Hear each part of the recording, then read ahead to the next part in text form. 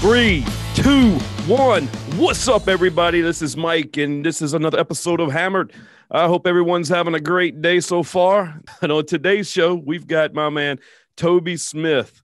Um, he's an old buddy of mine back in the cornhole days. Um, I don't know, Toby. I've known you for what now? About I don't know, off and on, five years. More than that, I, would I would say we're getting closer to ten. Yeah, you know, I was trying to um, go back in history and look at all these tournaments and like i started with the aco i believe it was in 2013 maybe 12 okay. maybe the end of 12 13 something like that. And you were in there before i was. Not not by much. I was around 2010 getting started.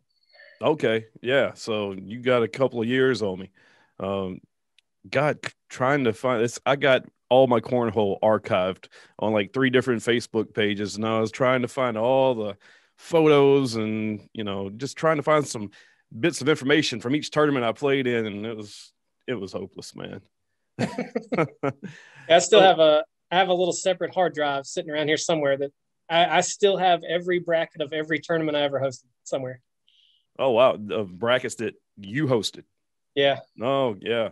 Oh, well, that was the thing, man. Like me and you, we hosted a lot of tournaments. I'm, you know, myself, I can't even count how many I hosted. When you, now there's a lot of people out there listening to this, and they're they're wondering what in the hell are we talking about? Um, so cornhole is a sport. Um, a lot of people say it originated like 100 years ago somewhere in Kentucky, right? Um, there, it's a board with a hole in it, and you take a bean bag and you throw it in there.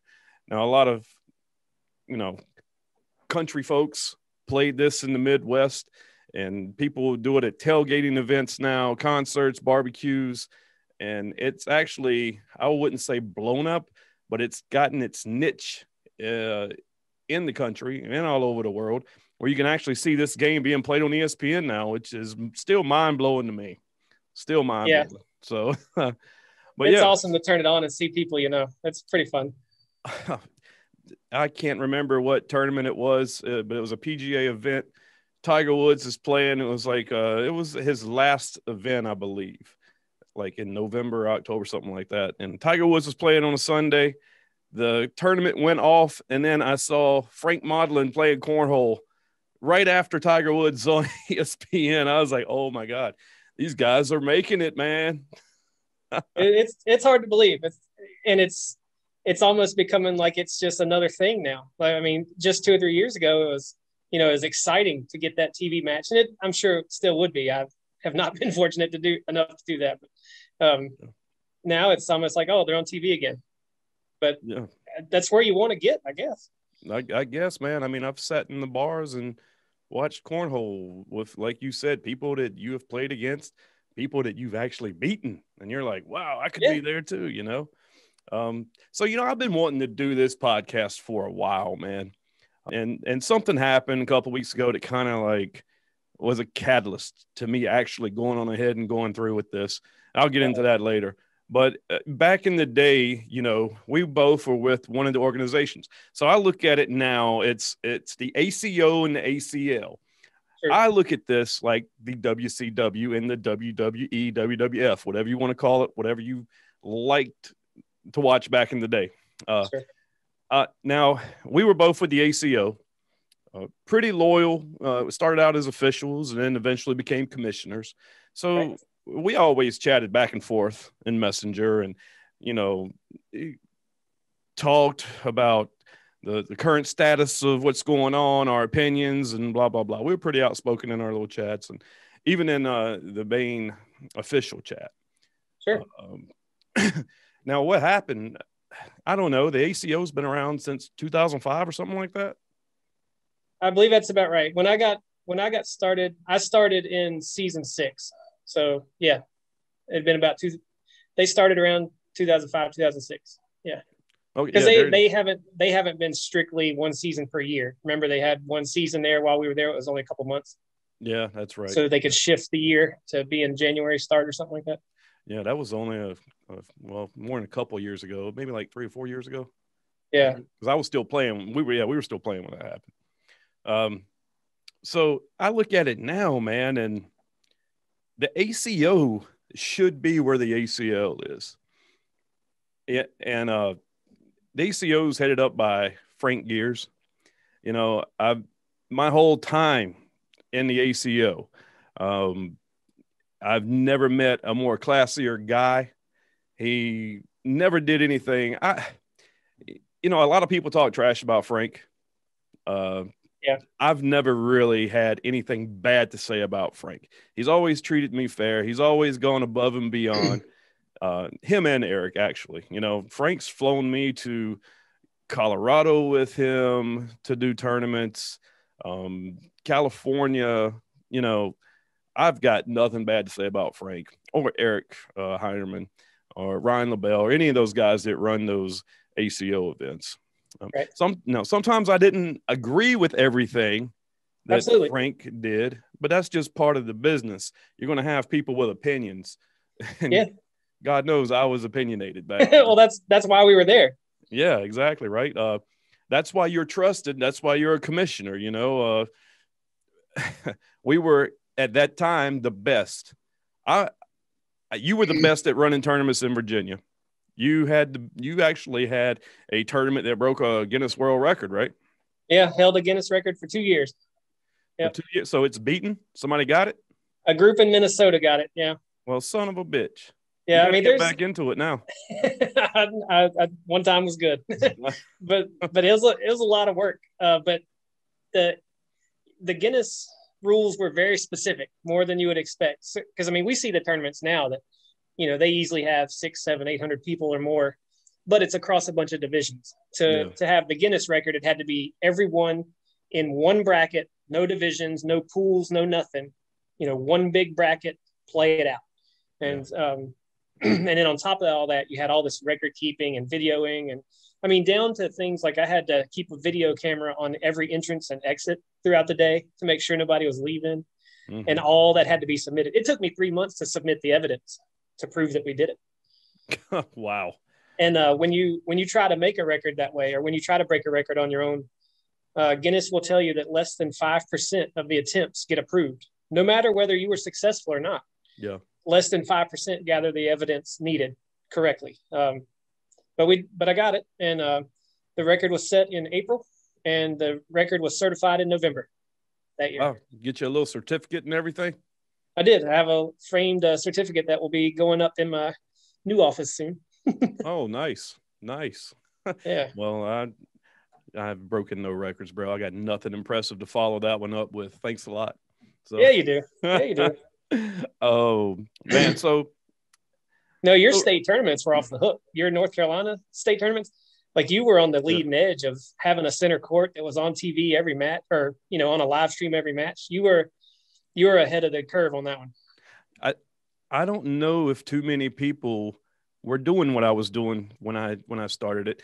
I mean, I don't want to say I was an innovator for that, but I do think I took the lead as like you were saying, like center court matches and you Yeah. know doing like entrance music to players and you know because I kind of got like WWE into it a Yeah. little bit. You Yeah. know, I like to Yeah, go above. People had the live stream things going where they'd Yeah. stand behind the court and hold their phone, but you had a a nice setup where it was standardized and all day long throughout the tournament. Key matches were played on that center court, and people from all over the country were watching all day because North Carolina's full of stud players. yeah. You you had a you had a very good thing with that state tournament. Well, I appreciate it, man. I, I thought we had a really good thing going. Uh, you know, before there, before me, there was another guy that ran it, Matt Young, and then Matt Mhm. kind of went on his own way, and then I took it over and ran it for like three years. I, I guess I was known for uh, cornhole in North Carolina for at least a couple of years, two or three years. Yeah. And now it passed on. I believe Chris Clark is doing it now, and um, I, I'm not going to say I, I miss it, but there are some aspects of it that that I took from uh, running tournaments and I'm using today in the podcast world with the video cameras and software yeah. and stuff. So, you know, I, I'm really glad I had that opportunity to to do that. You know, I learned a lot. So back in our time with the ACO, they really didn't have any competition at first. Yeah. There there was uh the what the ACL is now. There was the Carolina Cornhole Tour, I believe. Uh, that was ran by the same guy, uh, Stacy. Yeah. I kind of did a little thing with them back in 2014 where I was one of their organizers, and that ended up being a flop. Then there was a, I believe Joe Montgomery came around doing his tailgating for troops thing. Yeah, I participated in that a little bit, and he disappeared. Uh, and now uh, Michael Meacham, who I'm going to call the ECW of cornhole. he's okay, got, he's got that's his, a good analogy. He's got the CC, uh, is the CCL, the Crew yeah. Cornhole League he's actually doing really good, man. And uh, I'm happy for Mike because I'm going to tell you when I first heard about this, I was like, man, this isn't going to go anywhere. But bless his heart because, you know, he had just finished his stint with the ACL. And I heard there was some drama with his departure. And I can fully yeah. understand that. Oh, so like, he's doing this out of anger. I don't know how long this is going to last, but man, it's like national. He's got tournaments all over the East Coast. I don't know. I, I don't really follow cornhole too much anymore. I just see like posts every once in a while on Facebook. So I do know he's got tournaments up and down the East Coast. yeah, I, a lot of the guys that I played with back around Virginia are into it and love it. Uh, I, from everything I understand, he does an awesome job with it. No, yeah, man, he's got some hella promos. I. You want to speak about my North Carolina tournaments, man? he actually one year took the microphone, and you can still see this on YouTube. Took the oh, microphone and introduced the two competitors for the state championships, and you know he went Michael Buffer. He went full Michael Buffer on this. Oh man, yeah, oh, that was man. pretty cool. Um, you know, I tried to make a comeback this year, man. I uh, I missed it. I thought Right. so I was like, I'm going to try the ACL because, you know, it's like we were talking earlier. You see your buddies on ESPN, and you kind of want that a little bit, man. You want to yeah. get get your clip on YouTube and post it on your Facebook, and you know, kind of brag a little bit. Look who's on ESPN. Uh, so I played in a couple of ACL tournaments, man, and you know, I think the skill was still there. You know, I left. I won a, a major in Charlotte in the ACO, my last competitive tournament. So I, I went out on a high. There you go. So, and when I played in the ACL regionals, I was still throwing good, man, without months of practice. Um, but my passion was gone. I just, yeah, I didn't like it anymore. You know, uh, I played, uh, you know, Leslie McKeever. I played mm-hmm. him, and he beat me twenty-one to nothing. And I was standing there just thinking to myself, and I was like, wow, I won my pool. I beat two top players that have always been top players. Then I lose one, and then I get smoked by one of the best players in North Carolina. And it was like, wow, this is the same that. old, same old, same old bird, same old, same old. So I was like, I really don't want to do this because I got a podcast now and I've got other things to focus on. So I finally yeah. just hung it up. How about you? Have you tested the waters? I, I have not. Um, I haven't played a tournament since July 2019. Um, oh wow! Okay. So the the last the last like actual competitive cornhole I was doing, I did I did join um, I guess it would be the 2018 2019 season as an ACL pro. Uh-huh. Uh, joined with John Uransky, and we were tickled to death to play together. Uh, we we had beaten on each other so many times it was time to team up. so uh, so we had a we had a good time playing the events we got to play. Yeah. Um, but kind of on my own, I'd been working to get to um, it's been a kind of a dream of mine to always work for Disney, where I wanted to work at Disney World. And so I had been applying for years. I, you know, I started, I actually turned in my first application the night that my wife and I got home from our honeymoon, which was in 2014. We honeymooned at Disney. And the night we got back, I turned in my first job application. I was like, I'm going. That's it's going to happen eventually. Um, and then midway through that ACL pro season, uh, Mickey called. And so Oh, I right. was and uh, so at, at, the beginning of that season, we actually filled out these um, kind of ACL pro bios. Mm-hmm. And I don't remember my exact phrasing. I tried to find it before I called you, but uh, yeah. I don't remember my exact phrasing, but it's in there that when Mickey calls, it's over. you know, not not knowing it would ever happen because I'd been oh, trying yeah. for years. You know, I'd been trying yeah. for years and had zero luck, no interviews, no nothing. But when it happened, it, it happened hard and fast. It went from first phone call to me living in Florida in less than seven weeks. uh, that's pretty fast. Well, I know you got a yeah. thing for Mickey, man, because I remember we were in Anaheim. Uh, you went to Disneyland when you were out there, didn't you? We did. We yeah. did. Uh, we played the we played the major in Anaheim, and Steve and I stayed an extra day and played around at Disneyland for a day. oh God, that was uh that was an infamous tournament. That's where I had to play you, and I, the score was fourteen to nine. I was looking at the scoreboard when I made that pose you know, yeah. and, and, I'm pretty sure I probably gave up the game right then, or it was at least a four or a six pointer. Uh, who knows? You had, but, I, I, know, I know that exact point. You, uh, you had me dead to rights on that on that frame, and just monked up the shot.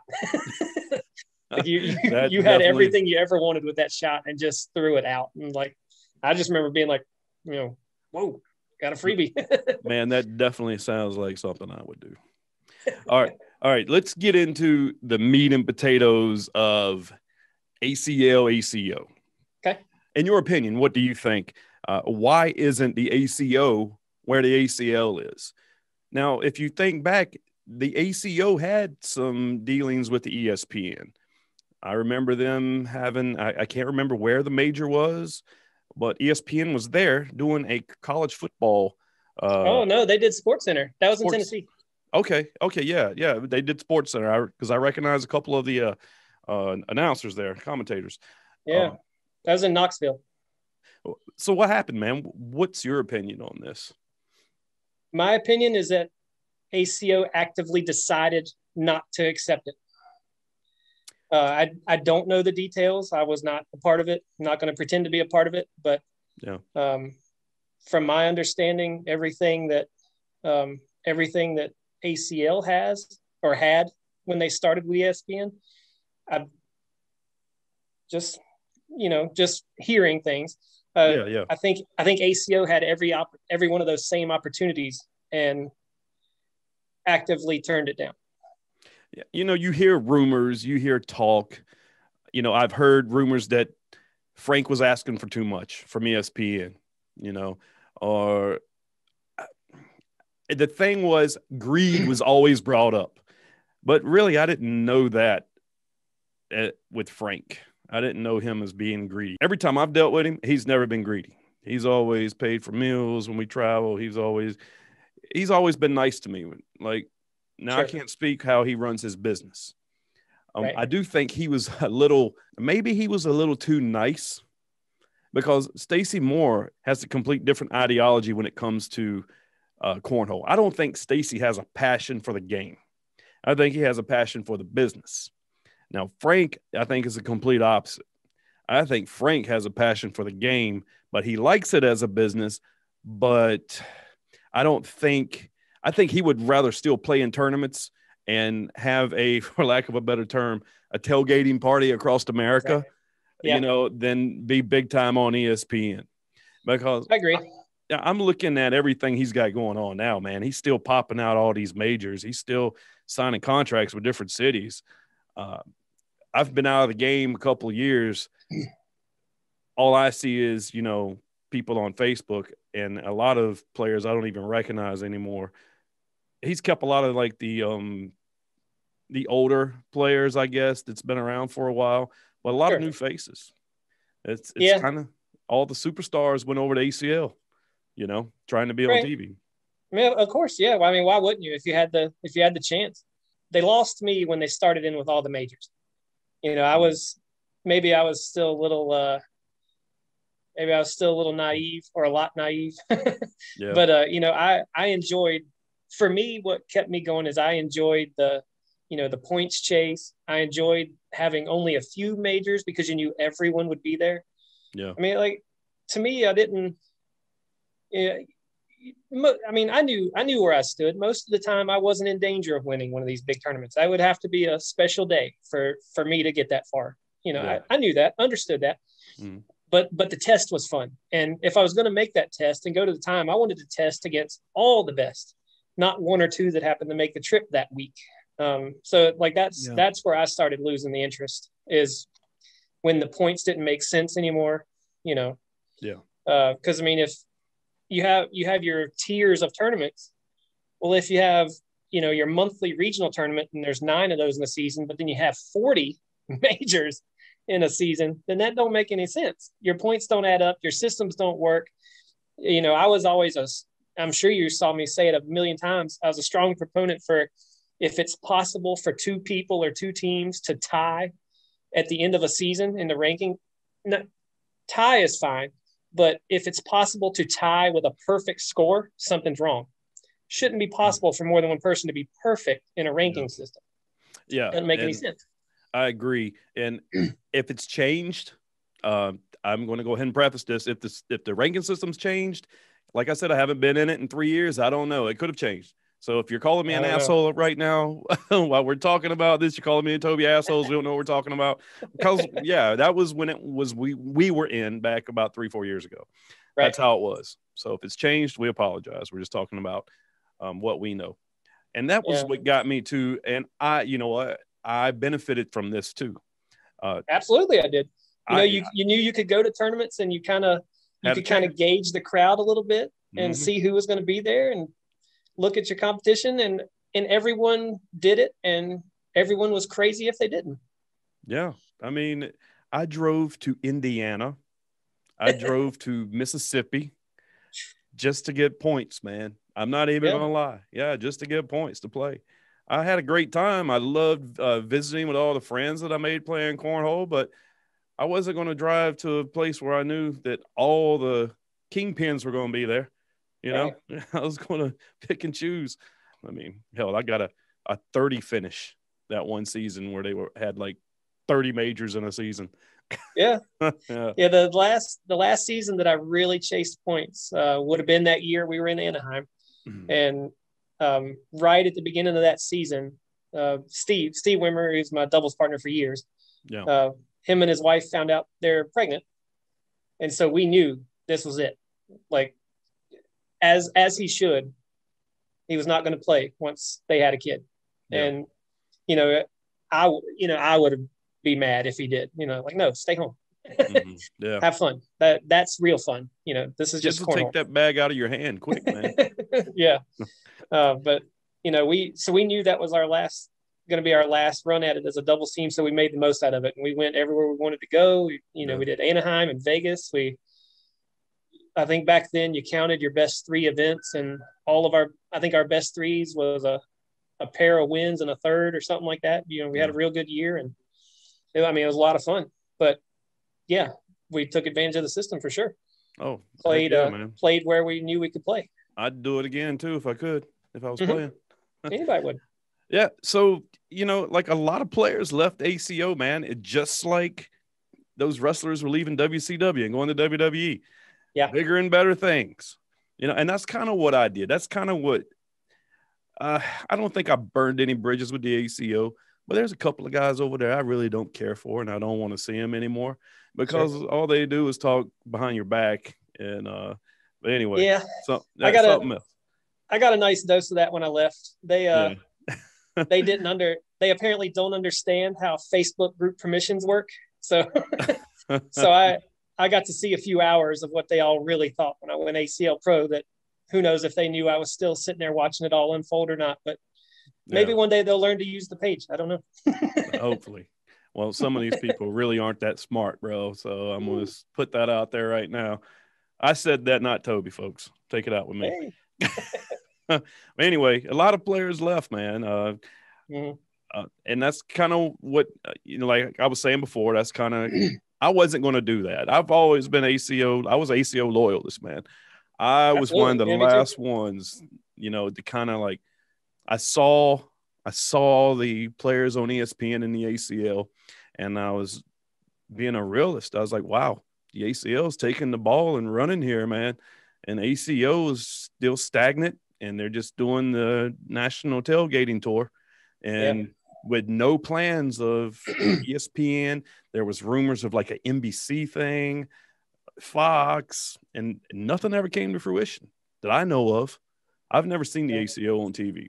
So it's like you said, maybe Frank's just completely done with that idea and he's just going with what he's got. I mean, um, for for years we were told directly that goal number one, put cornhole on TV. I truly believe that when it came time to put up or shut up, that it didn't happen. That's yeah. From from the few people I've heard that actually you know that have real knowledge of it, that's how I understand that it was an active choice to no, we're not doing it, or no, we're not ready, or maybe not willing to pay for the production because mm-hmm. I mean all that every bit of it costs a lot of money. You know, it's you, yeah. you're talking tens of thousands of dollars or more. You know, in cameramen, production time, the crews, all that setup, all the equipment, and and you haven't even put it on TV yet. The airtime's expensive. Oh, yeah, I think it was a gamble that Frank just didn't want to take. Yeah. And I see what the ACL's done. They took that gamble and they got a major sponsor in Johnsonville. I don't yeah. really, and I think Johnsonville's probably, you know, getting uh, some pretty good promotions off of this. Johnsonville's on everything cornhole in the ACL. Right. Um, yeah. I mean, I've go into uh, Food Lion, man, and Johnsonville Brats. First thing I think of is damn ACL. What the hell? So it's working. They got me, the yeah, consumer.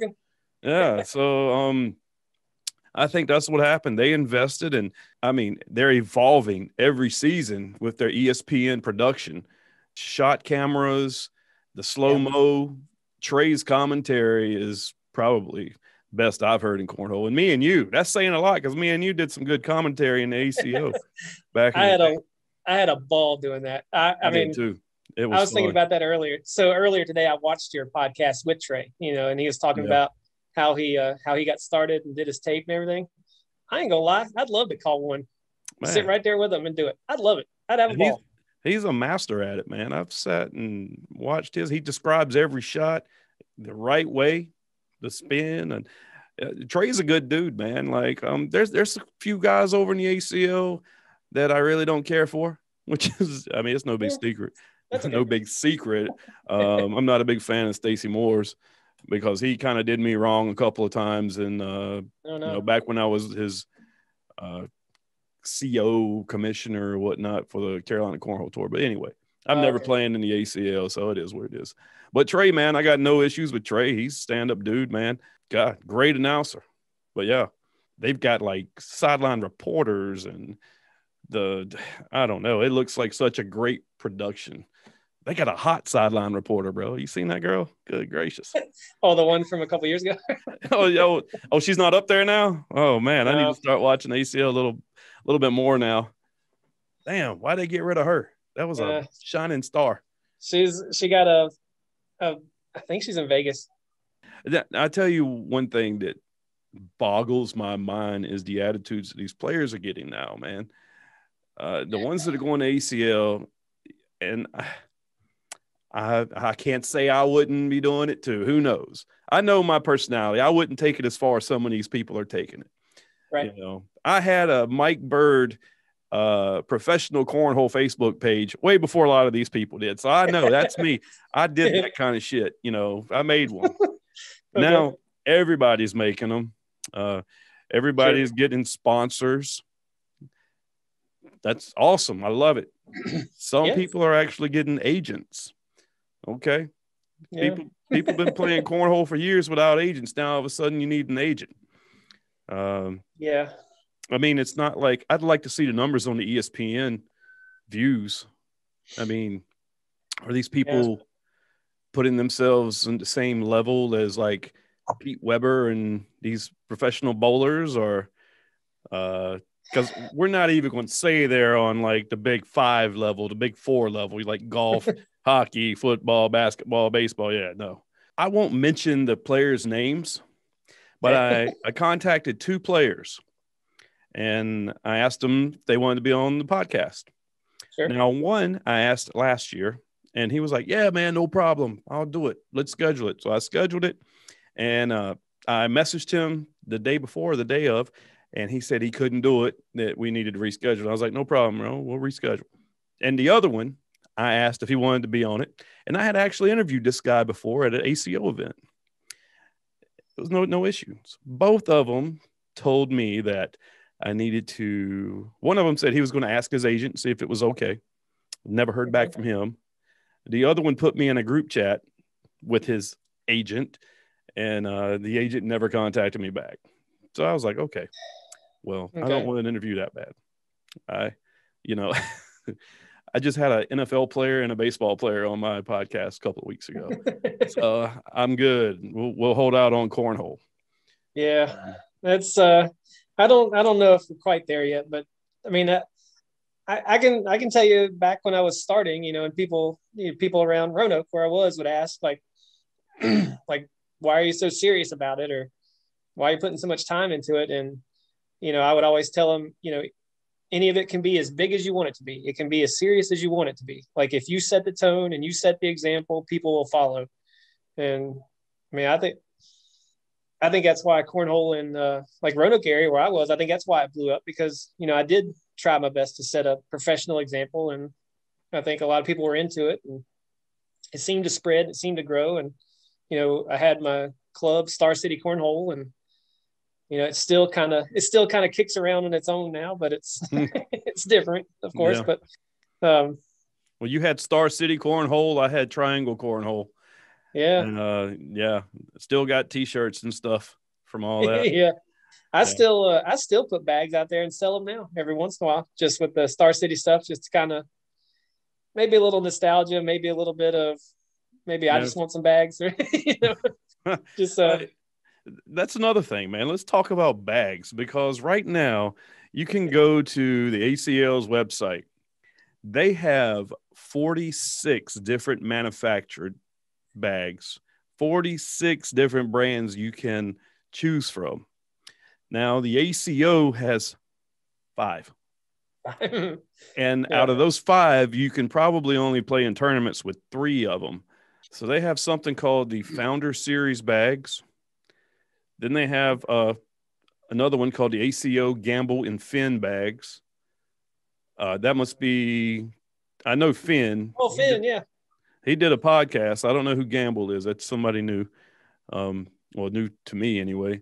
Then they've got the ACO Pro 450 canvas bags. But I think that's one thing that the players really liked is being able to bring their own bags to ACL tournaments.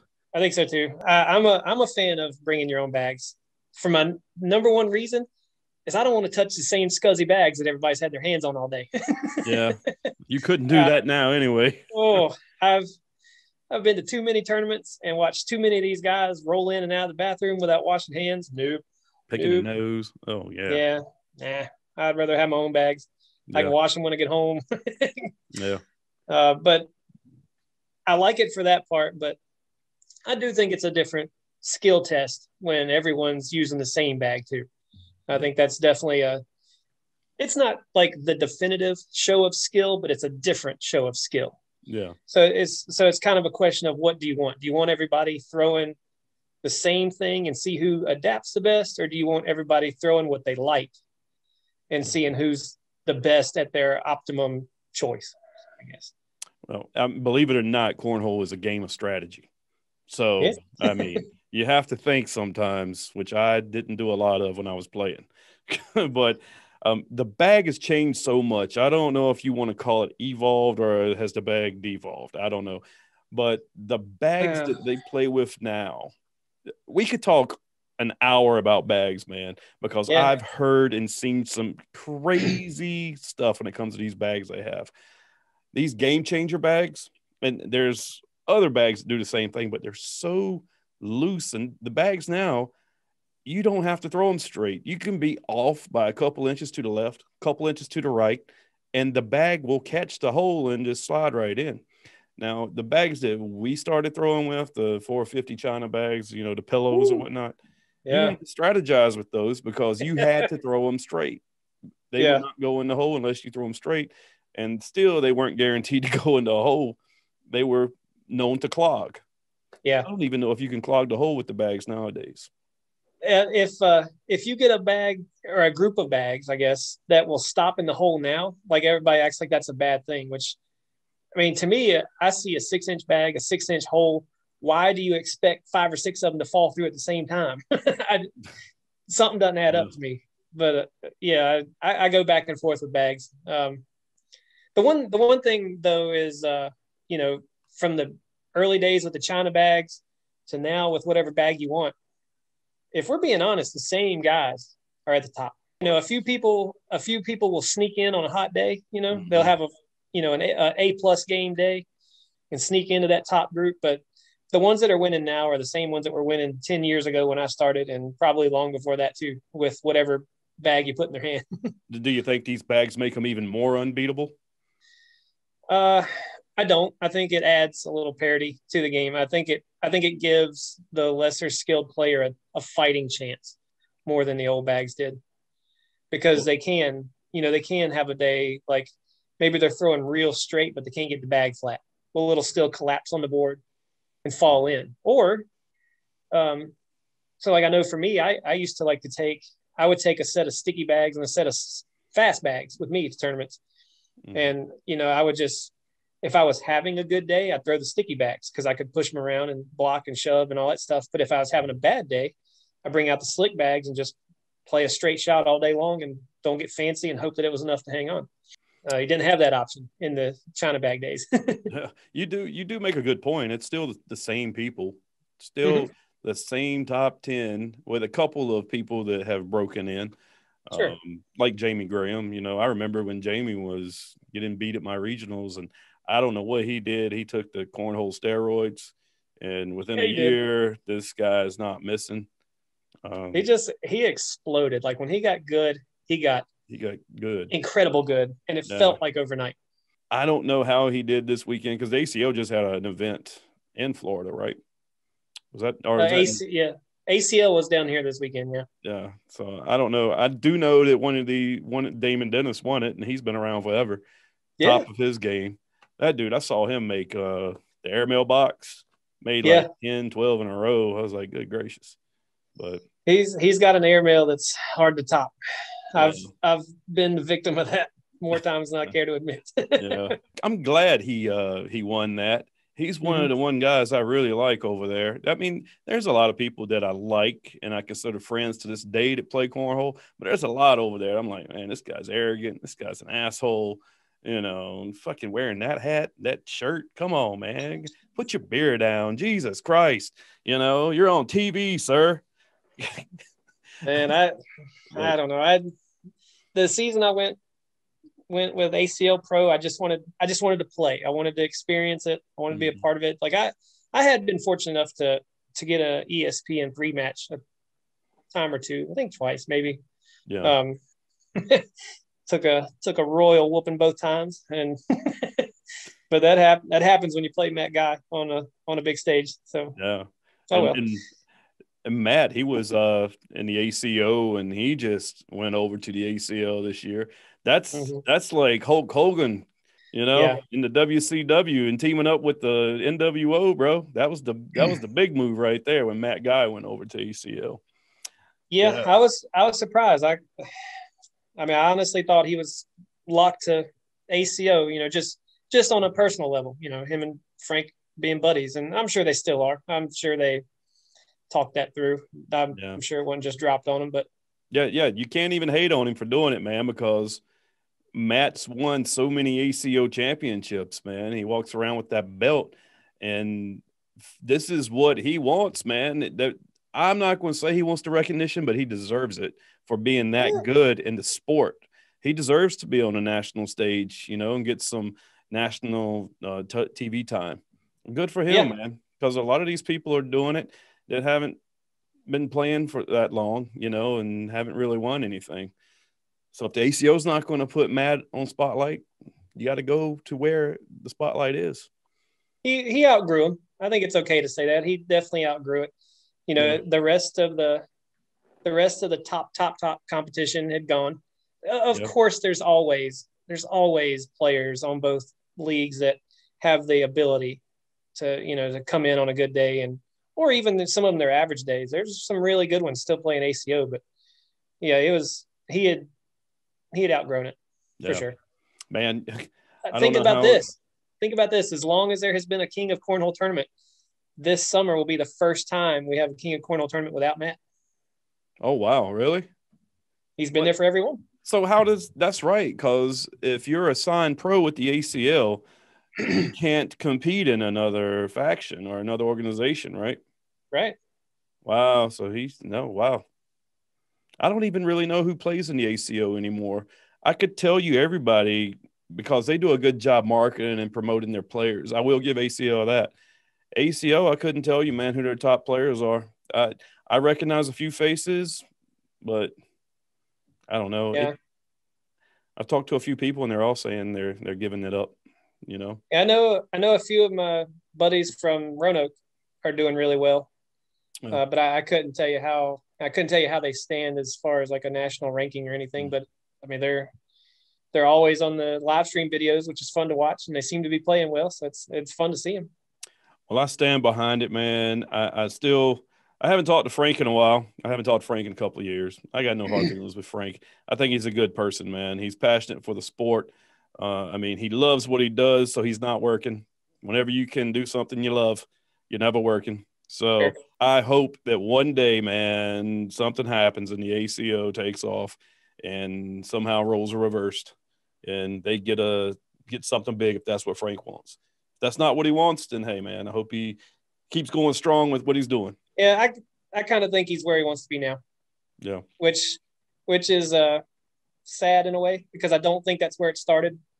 I don't think that's what the goal was when he started. At least that's mm-hmm. not what he openly said the goal was when we were when we were becoming officials and becoming commissioners. That I mean, it was yeah. it was pretty clear. The goal was to put cornhole on TV, and and then I think when it came down to it, either either he wasn't ready, or maybe the money was not right, or mm-hmm. not money given to him. It, it's going to cost. No one was ever going to put cornhole on TV on their dime. It was going to have to be the league that was going to put them up was going to pay for it. That was always going yeah. to be the case. It yeah. was a it's a pipe dream to think otherwise. Now, I believe sponsors are probably footing the bill because it Most has definitely. proven itself. But um, to get it started, that was never going to be the start, and I think that's where ACO dropped the ball. Uh, this is my humble opinion on what happened, and people are probably going to say Mike Bird's full of shit, but I don't care. I think that people didn't take the ACL serious. I don't think that they were thought of as a threat because they were that tailgating league that played that mega event once a year in North Carolina, oh, yeah. and they they were the mega gate. Wasn't that what it was called? Yeah, I did mega gate. It was it was actually fun, but it was yeah. different. It was very different, but it um because it had so much stuff. But yeah, yeah, so, and, it was different. And then that tanked. So yeah. then, then they went with the Carolina Cornhole Tour. Uh, that eventually tanked. So when the ACL appeared, I think that I'm not saying maybe Frank, but I, I, think that just ACO in general didn't take it serious. You know, didn't see it as a threat. And maybe they didn't press the ESPN deal like they should have. Maybe they should have taken it more serious if they wanted to be on ESPN. And I think Stacey Moore had the connections.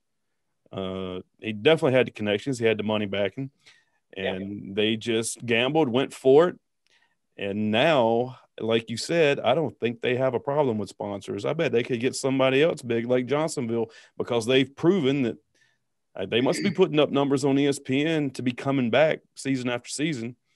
Yeah, and I mean they, they have to be. They're not gonna they're not gonna keep welcoming you back if you're not producing. I oh, yeah. That's not what they're in the business to do. Yeah. And it's like you said earlier, I'm sure that a production like they put on is thousands of dollars for one show and one thing that stands out to me is that you know you have like Johnsonville for multiple seasons. Mm. Think think about it before Johnsonville. Do you remember any sponsor with any cornhole league that hung on for more than a season? I mean, you want to talk about little bitty sponsors like uh any like the the whole light and did uh, anyone stay? Did anyone stay for more than a season? And I think that's no. because they weren't getting what they were promised. And I think that was one of ACO's big downfalls is overpromising. We could talk about payouts. I think the lack of money, you know, that probably deterred a lot of players too. It could, but I would I'm still so I'm I'm a big I'm a big proponent of disconnecting entry fees and payouts. Yeah. I don't think there should be a connection. When you pay an entry fee, mm-hmm. you're not paying for a prize. You're paying for Michael Bird's time, his equipment, his laptop, his cameras, um, his expertise, you know, to run an event for two or three days. And you're paying for the time he spent before planning the event, the time he'll spend after cleaning up the event, you know, the time he'll spend reporting results and paying for points to be entered for different people. And that to me, that's what your entry fee pays for. Uh, I don't think I don't think throwing a bag in a hole is worth getting paid for unless you're providing something in some way. Now, if you're playing on a ESPN and people are watching and getting entertainment, now you're providing something. People yeah. are having fun watching you. Now the story's changed. But you know, as far as anything else leading up to that, maybe I'm old fashioned, but you you have to provide something if you want to get paid for it. Get off my lawn, Toby Smith. I, I'm terrible. I'm terrible. I feel the same way, man. But it's like this back in the day when you ran a blind draw or you went to an event. And like you said earlier, you scope out the crowd.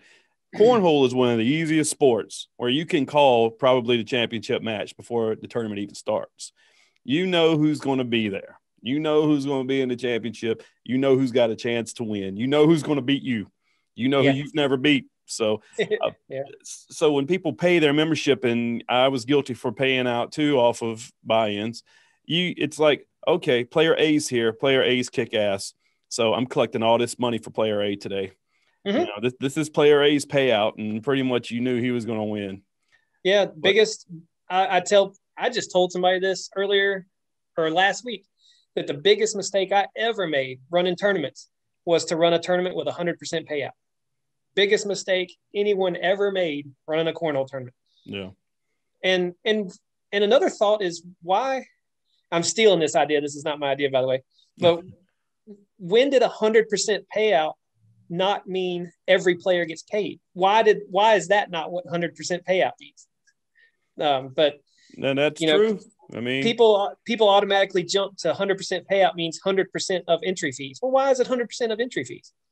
I mean, what what's the what's the connection? So lately, I've you know, so anyone that's you know anyone that's listening to us here and doesn't follow or have a lot of cornhole players on their social media, they don't see that there are these kind of discussions on social media all the time, with everybody mm-hmm. wanting to throw in their two cents of how a tournament should work, how their buddies do it, how you know whatever else, and it's it's endless, and it's um, it's you circular. Mean, it's been the same thing for years. You mean it still goes on, Toby? Really? They still yes. are arguing about how to run tournaments.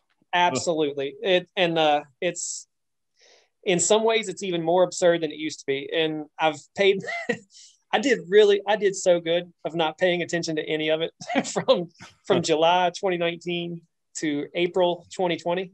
Uh, I will say that I'm very thankful that the popularity of people collecting bags has has let me get through the furlough and layoff that I've been through. Uh, I want to talk to you about super that. thankful about that.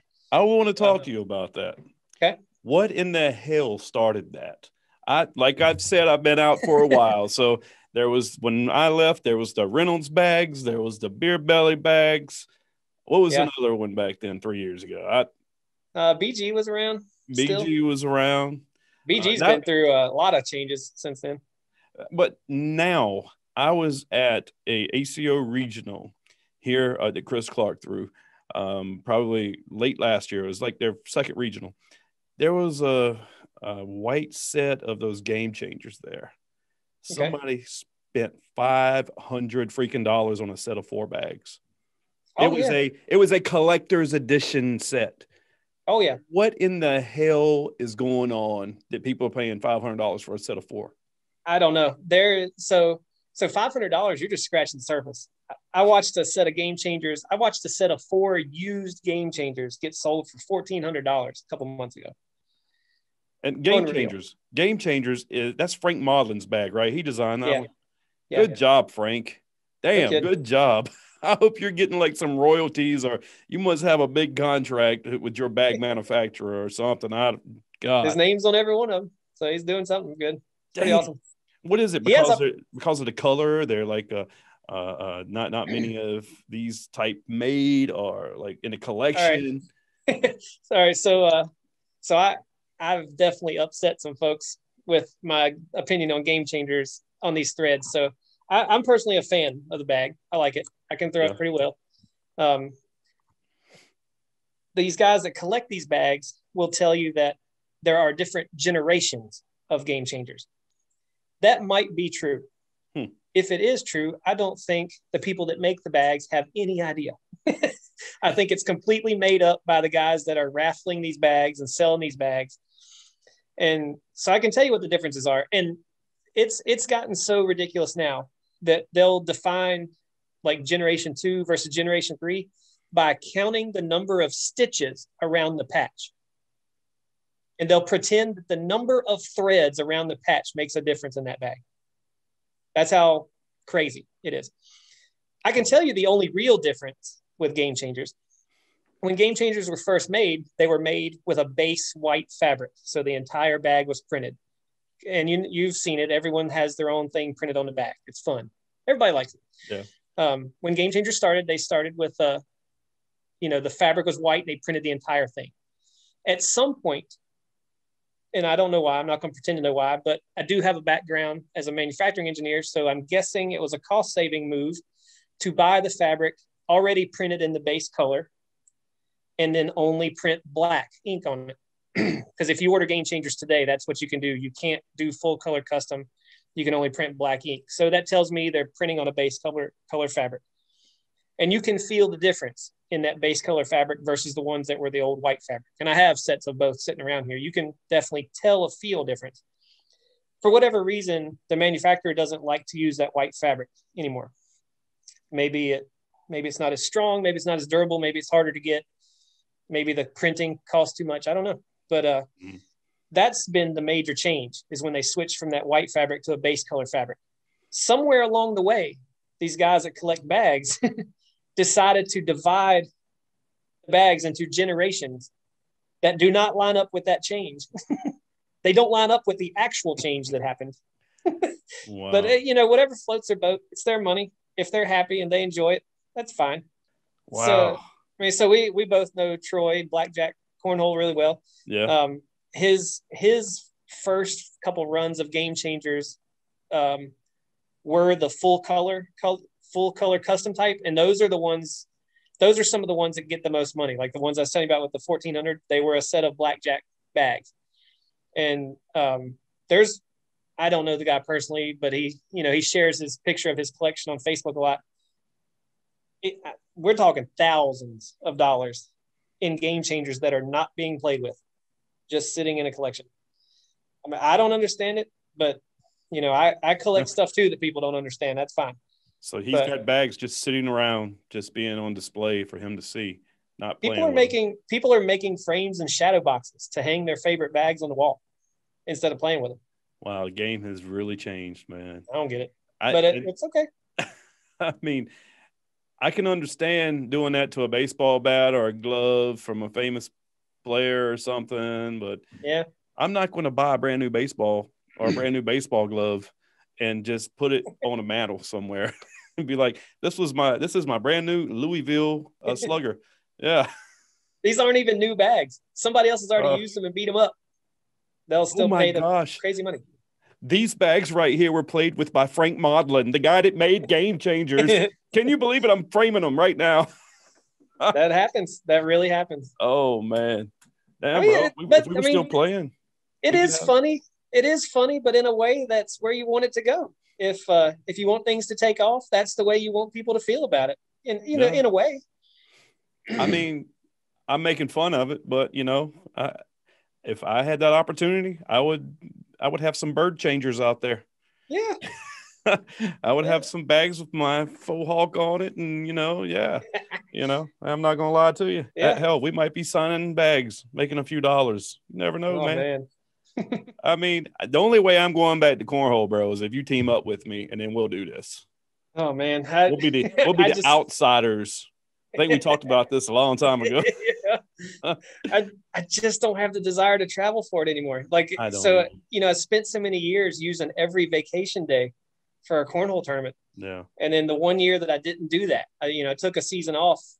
I took a season away from traveling before I switched to ACL Pro and uh, I just didn't go to any tournament that was outside of like an hour away, and it was so nice.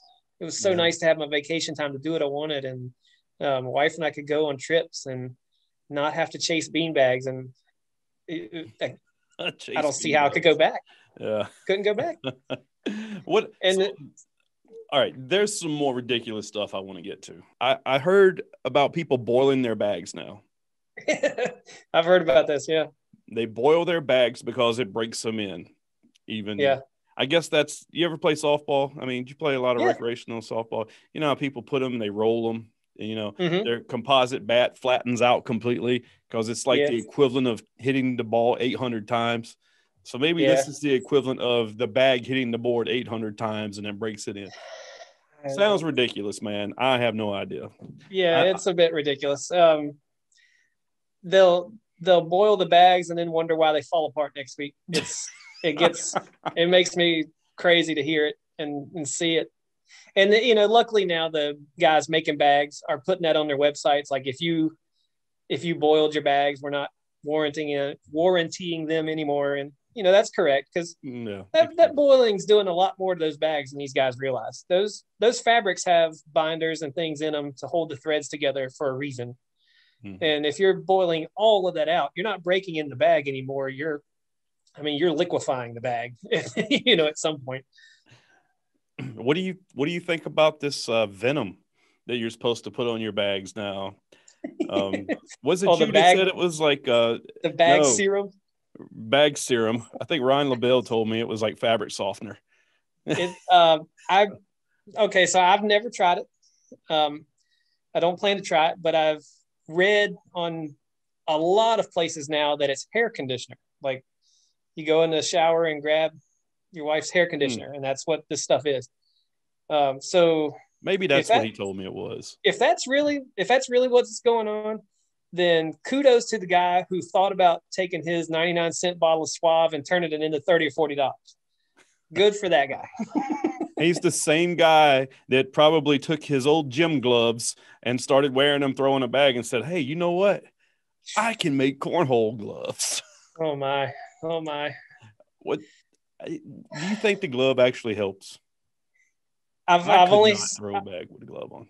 Yeah, I don't think I could handle it. I, I've I've talked to one one good friend who I think it does help him. He's you know he's told me that his hands sweat really bad, and it helps mm. him keep the bag feeling the way he wants.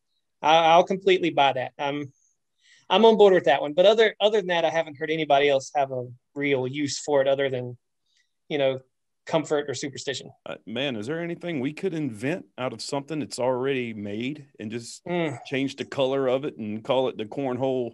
How about like a muscle shirt, the cornhole shirt? Like uh, we could make it with some torque in like the left shoulder and kind of like spring loaded shoulders. yeah. I can't I can't tell you how bad I've wanted to uh you know, I've made the joke with some people to I mean, everyone's heard of snake oil, you know, yeah. somebody selling yeah. snake oil when they're selling just nonsense. If somebody made a bag break in serum called snake oil, it would be the ultimate. well, how could sounds, how could you top it? That would be uh, cornhole. Sounds like we need to get on that, man. we need to get on that. Like uh, we talked about bags, and uh, you said something about stepping over the line. yeah, that that, that, that seems to be a a little bit of a hot point. But if you're comparing the leagues, um, so I still I still talk to a lot of my guys, uh, my players from Roanoke, and they asked they asked me my opinion on this, that, and the other. Even though I'm not involved really anymore, it's you know it is flattering that they'll ask. But mm-hmm. one difference right now is ACO has gone back to the rule of you can't step over the line until your bag hits the opposite board, and and that's a good that's a good move in my opinion. Um, you and I were both there when the rule changed. That is the original way the rule was, is that you had to stay both feet behind the line until the bag hit the opposite board. While we were there, that rule changed because of Dayton. You remember Dayton? Yeah, yeah. Um, there were grown men. So for for anyone seeing the podcast doesn't know Dayton Webber, Dayton has no legs from the knees down and no arms from the elbows down, and still is one of the top cornhole players out there by any by any measurement.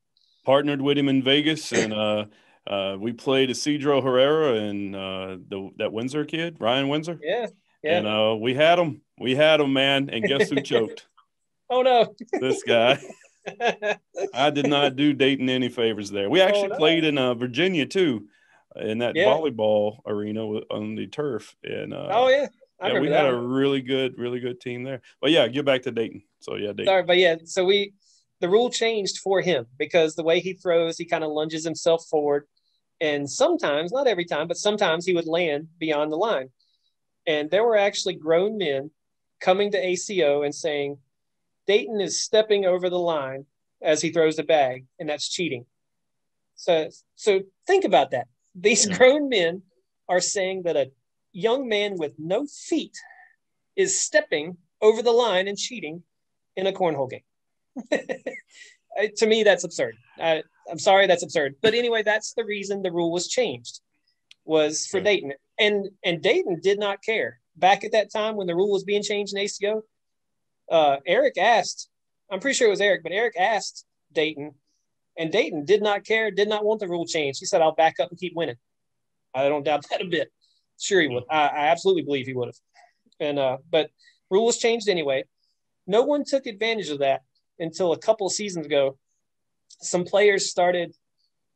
They'll call it following through, but they throw the bag in such a way that they release the bag and their foot crosses over and steps way past the line just as they're releasing the bag. So by rule, they're okay. You know, they're releasing the bag before anything touches beyond the line, but they are throwing the bag as they cross the line. And it, the biggest thing is that it looks bad.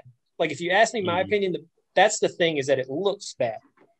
Yeah. Um, so like say say you go to a tournament and a, it's you know it's a local mom and pop's fundraiser tournament and a couple pros show up and they're they're into that t- that style of throw. If these guys that don't play tournament cornhole see these guys stepping over the line as they throw, what are they going to think? The pros are cheating us. Yeah they're not going to understand. They're not going to take that minute to. They're not. They're just not going to get it. And that point, that point has been proven to me over and over, and it was proven to me this weekend. Uh, my father-in-law was watching some of the cornhole with me, and someone on one of the broadcasts was doing one on one of the ESPN broadcast, ESPN three broadcasts, was stepping through on their follow through, and he, I mean, my father-in-law has seen me play a lot. He gets it, he looked right at me and said, Why is that guy allowed to cheat? And I said, Well, and so I explained to him how the rule and everything work, works. And he's like, Well, that's just such a bad look. I didn't tell him that. That was all stuff he said to me. And yeah. but that's what the average viewer is going to see when they see people stepping over the line. And uh so in the ACL, it's legal to take a step over the line. Yeah, at the moment it is. At the moment. Guys, I don't it's I don't think as many people are doing it now. I think yeah. it's kind of I think it was kind of a fad that's fading. Um, I, I haven't seen that many people still doing it, but it, it still happens. I've watched uh, some YouTube videos of some ACL ESPN footage, and I I'm not going to mention the player's name, but it's a prominent player. I've seen step over the line and start walking to the other board as the other guy is still throwing his last bag. Yeah, that's not good. And I'm like, wow, okay, they let them get away with that stuff. That's annoying. That's real annoying. Yeah. You want to choke slam the other player. Yeah, well, that's just one lie. more reason. That's just one more reason to make that a hard and fast rule. Don't step yeah. past until board bags are on the opposite board. It's it's easy. it's enforceable. Just just mm. that's where it should be. I mean, I was never a shit talker playing cornhole. I, Not at all. I'd never even. I I didn't like to have conversations with my opponent. Honestly, yeah. I didn't want to lose my focus, but there's sometimes people would do that, and I'm like, like oh God. Oh, some people I couldn't stand playing because all they wanted to do was talk. Oh, say, say now I was, I well, I wouldn't say I was the opposite, but that part of the game didn't phase me in any way. I didn't care if there was music playing, talking. Mm-hmm. I, I didn't care. So if, so if I was playing against somebody that did put earbuds in, I would actually keep account in my head of how many times I could make them take the earbuds out. and that's why that's it's all part of the plan. That's why you always beat me, man. That's why you always beat me. Look, I I don't think that's why I was always like that mid card card guy. You know, like in wrestling. Let's use some more wrestling metaphors. So I was always like that guy that won the intercontinental belt You know, I never made it to the heavyweight belt, uh, but I was like intercontinental. Maybe not even that. The U.S. Oh, no. yeah. I was like the Dean Malenko. Uh, I don't know if you know who he is. Yeah. He was, yeah, he was one of them wrestlers that never obtained it.